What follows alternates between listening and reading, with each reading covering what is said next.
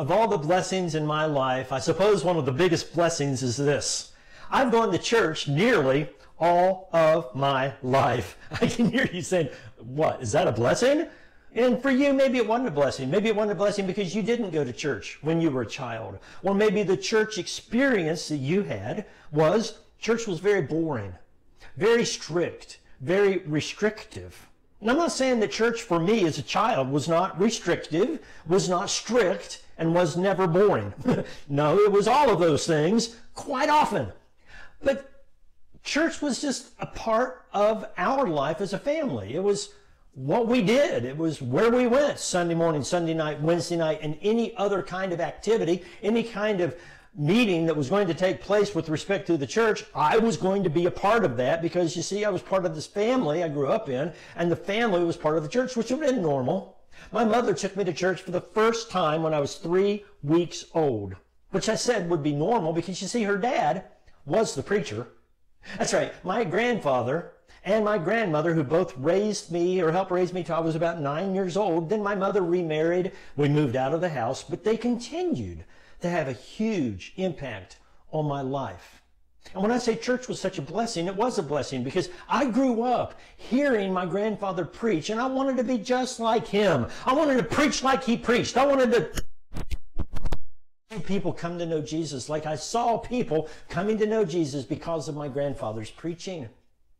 When I say that I learned some things that were correct and some things that were not correct, I mean, I, I grew up hearing Bible taught. And my grandfather did the best that he could at the time that he had and the, and the, education level that he had and the time that he spent in Bible and the environment in which he grew up. But there were some things, quite honestly, that he taught that were wrong. And later on, he changed his opinions on. He, he grew in his knowledge and was willing to change which also had a huge impact on my life. I mean, I watched a man who had preached for over 60 years, and even in his 80s, he changed some of his views, some of his very strong views. He discovered Bible taught something different than what he said Bible taught. Now, when I say the church had a big impact on my life, one of the reasons was because that's about all I heard about was church and church attendance. Christian life was defined as church attendance, doing five acts of worship, particularly paying attention to the sermon, but it involved singing and praying and giving and, and the fellowship and Bible study and, and all the rest, right? I, I, and communion. Those were important things. But my grandfather discovered in his 80s, he said this to me. He said, Bub, I think we've been teaching and preaching things wrong. I said, What do you mean, Gramps? And he said, What I mean is this. We have, I have, for most of my preaching life, preached the church of Christ. When I should have been preaching the church of Christ. See, our attention was so much on us and getting us right and doing things for us and having us, the church, as the focus of what God was all about, when really God was all about focusing on his son Jesus. The whole Bible is about Jesus. All of the Old Testament, all of the prophets lead up to the birth and the life of Jesus. The last thing that God said publicly that other people heard and understood what he said was, This is my son. Listen to him. Now, that's pretty important. In fact, in Hebrews, it says that Jesus sat down at the right hand of God, and the angels were told, You worship him. He's greater than Moses. He's greater than, than Joshua. He's greater than the law. He's greater than the tabernacle. He's greater than the priesthood. He's greater than all of the sacrifices. Jesus is superior to it all. God placed him above all else, and we should too. But what we did, we placed the church above all else and not Christ. And I think we need to change that. And I thought, wow, my grandfather has made a huge change in his theological perspective. He, he saw things completely different and it radically changed. In fact, about this time of year would be typically in just about any church you would attend, outside the churches of Christ, of course, but any church you would attend, there'd be a Christmas message. We never had a Christmas message. Well, that, that's not exactly true. You see, we did have Christmas messages. My grandfather preached why it was wrong for us to celebrate Christmas as the birth of Christ. First of all, it is not the time of year that Jesus was born. The Bible doesn't tell us when Jesus was born. The Bible doesn't command the Christian nor give authority for the church to celebrate the birth of Jesus. So, since we do only what the Bible gives authority for and only what God has commanded, we are not to worship as a church or not to celebrate the birth of Christ as a church. And that's Christmas message for me was why we don't celebrate Christmas. Again, it was in his 80s, maybe closer to when he was almost 90. He died at 94 years old, which is kind of unusual. Many people don't live that long. My grandmother, my great grandmother, his mother, lived to be 98 years old.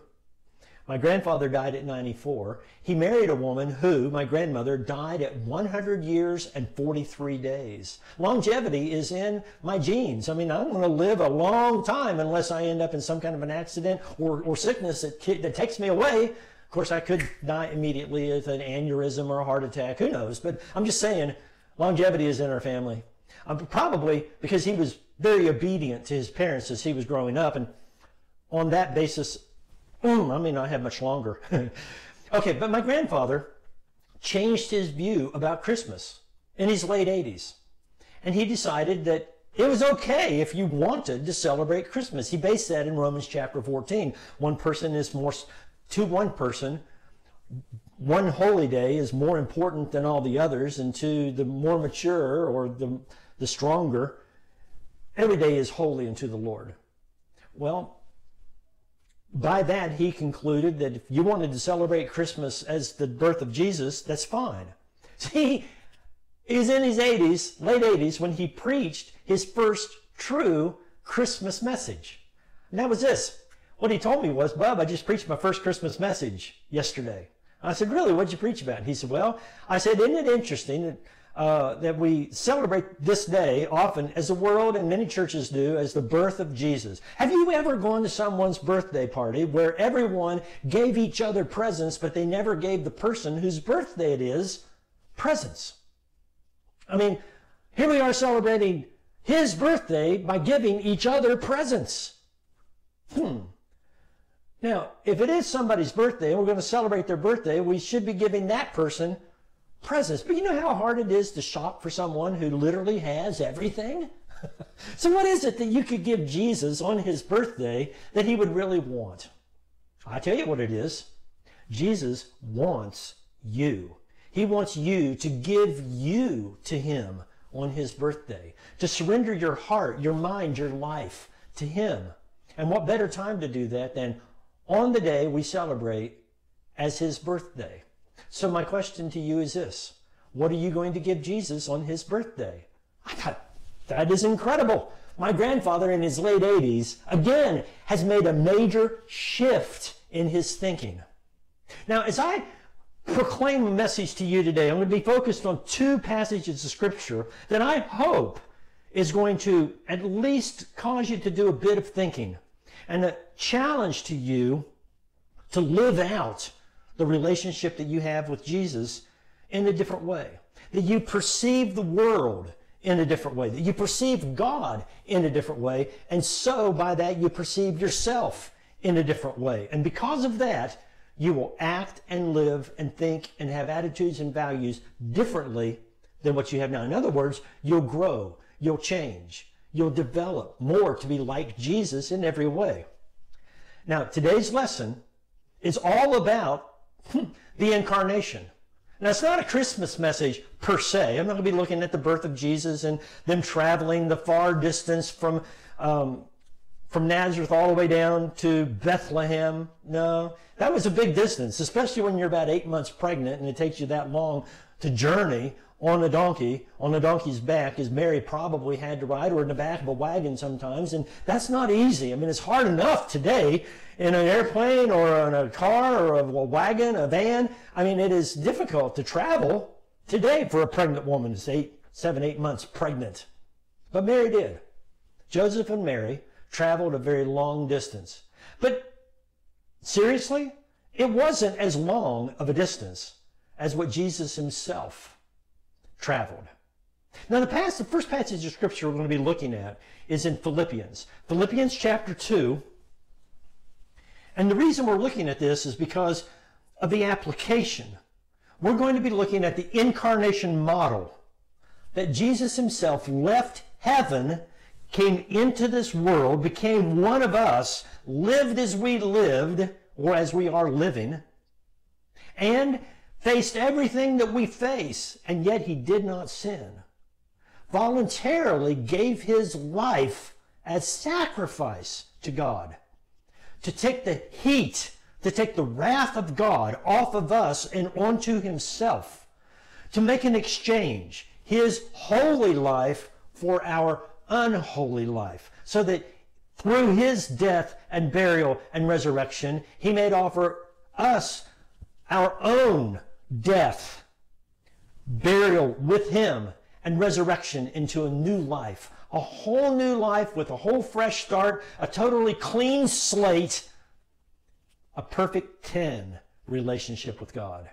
And when we have that, and we recognize the model, the the, the model that Jesus gave in the incarnation, we also recognize that that's what God has called us to do in our own lives. But now let me start off with this. There is no way you can apply this message without the work of the Holy Spirit of God in your life. You cannot do this on your own power. There are a lot of commandments in the Bible that I believe that you can obey, but you cannot do what this is talking about without the help of the Holy Spirit of God. Watch. Philippians chapter 2, begin in verse 1. So, if there is any encouragement, this is Philippians chapter 2, verse 1. If there is any encouragement in Christ, any comfort or strengthening from love, any participation in the Spirit, any affection and sympathy, Complete my joy by being of the same mind, having the same love, being in full accord and of one mind. Watch. Do nothing, do nothing from selfish ambition or conceit, but in humility count others more significant than you do yourselves.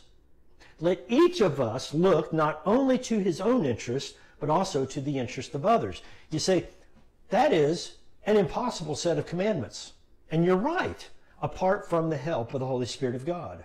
What he said is this think of others, consider others more important than yourself. Now, you recognize you are important, right? You do understand you have tremendous value before God. So do other people. And what Paul is challenging us to do through 2,000 years of application in the scripture, what he wants us to do is this. Though we are equal with one another, he asks us to, he commands us to view the other person as more important. Not to be looking at the other person as someone to be used, as a relationship to be gained for selfish benefit, to do something for them with any strings attached that they might do something back for us, but rather we would take the position of humility and think of others and consider others not only better than ourselves, that's what he says, but also that we would meet their needs, not just look after our own interest, which we should do, we need to do. You do look after your own interest. But when it comes to your interest and the interests of others that you genuinely love, give up your own for the sake of theirs. How do you do that? I mean, like you said, that seems to be impossible. Well, it would be, except for this the rest of the scripture. In verse 5, he says, Have this mind, another word for that would be have the same attitude. Have this mind among yourselves, which is yours in Christ Jesus. So we start off with the basis that there's nothing that God is going to ask you to do that he hasn't already given you the power to do. Number one. Number two, there's nothing he's going to ask you to do that he himself has not already done. Both of those are true. God himself has done what he's commanded us to do. And then he put his Holy Spirit to live inside of us when we became a Christian. Don't you remember the day when you said to Jesus, I want to give you my life. I want I want forgiveness, Lord. I want to be saved. I want a relationship with God. I want Him to be my Father. I want to be a child. I want to be part of the family. I want to be a citizen in your kingdom. I don't know what you were thinking completely about the time that you became a Christian. Some of those things were in my mind, but the most important thing was this. I want to belong to you, Jesus. I want a relationship with you. I love you more than I love my life. And on that basis, I was dead to my own life. I died to sin. What I, in, in essence, said to sin, you're not going to rule me anymore. Jesus, I want you to rule me now. And being dead, what do we do with the dead person? That's right, we bury him. So when you were buried under water, that's what baptism is, when you were buried under the water and raised up again, there was a spiritual activity that took place. God placed his spirit inside of you. And through his spirit gave you new life washed your sins away, making you a whole new creation. If anyone is in Christ, he's a new creation. All of the old is gone. Everything has become new. 2 Corinthians chapter 5, verse 17. What's important about that is this. Jesus made the exchange. The Holy One for the unholy one. Huh, for the unholy ones. He made the exchange. The perfect one for the imperfect ones. He made the exchange. He took our sins into his own body and died as if he committed all of those sins. Be humble. In humility, count others more significant than yourselves. Let each of you look not only to your own interest, but also to the interest of others. Have this mind in you that which is yours in Christ Jesus, who, though he was in the form of God, did not count equality with God a thing to be grasped, but emptied himself by taking on the form of a king, of a boss, of the master. No. He emptied himself by taking on the form of a, this is what it says, of a servant, a slave actually a bond slave, one who's been bought and paid for, has no rights at all. He took on the form of a servant, being born in the likeness of men, and being found in human form, he humbled himself. It wasn't just humbling to become a human, he even humbled himself to become a servant, to become obedient to the point of death, even death on a cross pause for just a moment. I want you to consider this. I suggested to you that Mary and Joseph traveled a very long way to go from Nazareth down to Bethlehem. Hmm. But Jesus traveled a much longer distance from equality with God, that he did not consider that equality something to be grasped and held onto. This is what that would look like. No, I'm not letting go. I will not let go. I am God, and I deserve to be served. I deserve to be loved. I deserve to be honored. I deserve to be worshiped. I will not let go. He didn't consider equality with God something to be grasped and held onto with whited knuckles, but rather emptied himself, became a human being, lived among us as a human being weak, broken body. Yeah, he. He suffered in every way like we. He was tempted. It means he had the desire to do wrong, and yet he didn't do it. He had the desire not to do the thing that God called him to do, and yet he did. Yes, he was tempted in every way like we are, yet he was without sin. And he became obedient, not only become a, a human being, he became a servant. Not only a servant, he became obedient in everything, even to death. And then Paul takes just a moment, I think. He catches his breath and he says, even death on a cross. Now, that in the first century, the cross was a point of great humiliation, pain, suffering, physically. You were stripped naked. You were beaten. In this case, he was scourged with a cat of nine tails. He was scourged. He was left almost dead. He carried his own cross through the city of Jerusalem. He was nailed to the cross and he hung six hours outside the city of Jerusalem, hanging in pain, suffocating to death, suffocating to death, and bleeding.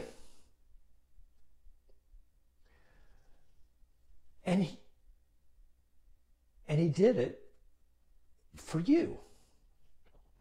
He humbled himself to become completely obedient. Father, I'm asking you, please take this cup away from me. I don't want to go through with this. But your will, not my will, be done.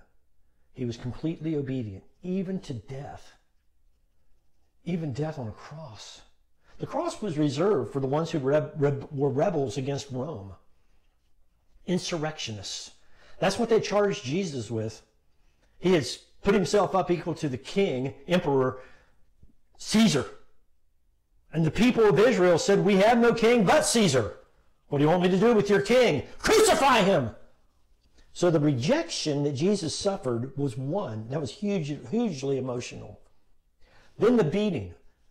Terrible physical beating. Then the nailing to the cross. The humiliation of hanging outside the city naked and in, and in shame and in pain. And not only that, all of our sins funneled into his body. And he suffered as if he committed every one of those sins, guilty. As we are charged, he as the guilty one for the guilt of the sin, so that we could be washed completely clean. He took our place. The distance that he traveled would have been like this the beauty and the glory of, of God. He had all of it infinite love, infinite holiness, infinite creator, infinite power. And he emptied himself. He emptied himself into human form and became a man. And he lived among us in a broken, fallen vessel, a human body. He died on a cross. And so Paul says the next word, so important. Therefore. Therefore, because of all of that, God has highly exalted him and bestowed on him the name that is above every name, so that at the name of Jesus every knee should bow in heaven and on earth and every and under the earth, and every tongue will confess that Jesus is Lord to the glory of God the Father. How is it that you and I will ever have a life of humility where we become the servant of all? It is, first of all, recognizing what Jesus has already done for us and in us. And then from that position, did you notice this? As far as he was concerned, he, God, the one God, made of three individuals, who we now refer to as the Father, the Son, and the Holy Spirit. They've taken the roles as Father, Son, Holy Spirit with respect to our understanding of their relationship. And Jesus, one of the equal Godhead, totally God, 100% God, emptied himself and chose to be Son, allowing Father to be over him. The Spirit submitted himself to be sent by the Father and the Son into the believers to live inside of us so that Jesus himself could have a body on this earth to live out all over the earth what he lived in the Palestinian region for a very short period of time. Now, he's in his church, his body, which is the fullness of him who fills all in all. Ephesians chapter 1, the very last verse. What I'm saying is this Jesus emptied himself. Now, he was equal with God, and he voluntarily considered God as Father, he as Son. a change of perspective, a change in reality. He viewed God this way, so he acted toward God this way. He, the God man, the surrendered one, the emptied one, the humble one, the servant one, the obedient one, the one who would be nailed to the cross and died, the dead one, who would be dependent upon God the Father to raise him up from the dead. Yes, this Jesus is our model, so that we, who, you and I, you're watching this today, we are totally equal. I don't care what color you are. I don't care what color I am. I don't care where you're from. I don't care where I'm from. I don't care what you've done. I don't care what I've done. I don't care where you've slept or who you've slept with. I don't care where I've slept. I'm telling you this. We are equal. Totally. In value before God, we all, every human being, born and unborn. Yes, I said it born and unborn. We stand with an equal value to God who gave us life, who made us like himself. We are the image bearers of God himself. And God so loved the world. He loved the world in such a way that he gave his son that whoever believes in him shouldn't perish but have everlasting life. See, God didn't send his son to condemn the world. He sent his son to save us. And if you put your trust in Him, if you walk with Him, trusting Jesus to live in you and through you, to give you life, to forgive your sins, to enable you to live the way God designed you to live, if you live that life in Him, then you stand uncondemned. You're in Christ. You're forgiven. You have, Jesus has a perfect 10 relationship with God, and He offers that to you. Now, you being equal to others, you do exactly what Jesus did. He didn't count equality something to be grasped. He didn't say, no, everyone has to serve me. He, the God of the universe, the creator of all, came into this world and became the servant, not only of God, but of us. He became our servant and a sacrifice. And so he calls us. This is the introduction to the next lesson, Romans chapter 12, verse 1, where again, the same author of this passage of Scripture calls us to a life as living sacrifices, that we continually present ourselves as living sacrifices. This is the foundation for that lesson. So I hope you'll tune in. I hope you'll connect with me on that lesson as well. But has this encouraged you at all? Has it helped you see? Has it helped you see the model of incarnation for us to live a life of service with each other? The church, serving one another, loving one another, giving to one another, helping each other carry needs and burdens, and going through the pain of life and celebrating the joys of life together. Yes, that's what the body of Christ is all about. Because we will sacrifice ourselves for each other because we follow the sacrificed one.